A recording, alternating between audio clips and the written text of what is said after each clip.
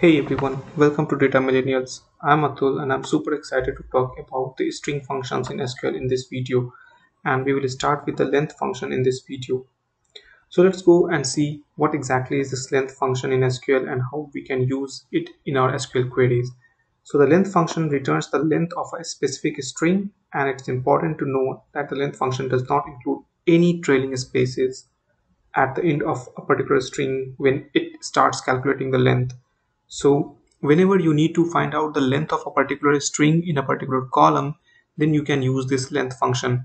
So let's go and see how we can use it in a query. So we have this subscriber base table and if I run this, I have the whole detail of subscriber information. Now what I need to do is that I need to find out that how many characters are present in the first name of each and every subscriber. So what I can do is that I can simply write select subscriber ID and then the first name the column of which we are going to calculate or find the length of that column.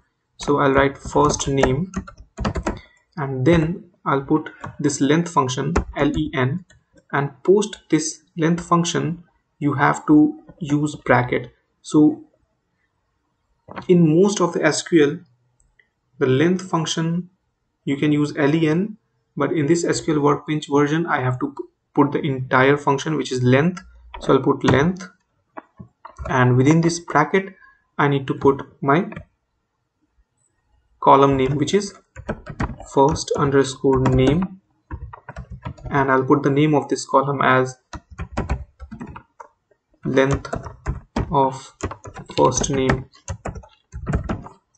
And now if I run this, I'll get the subscriber ID, the first name and the length of the first name. So let's run it. So for the subscriber ID 1, the length is 7, while for subscriber ID 100, the name is Marin and the length is 5. So this is how basically you can use the length function to find out the length of a particular substring in a table.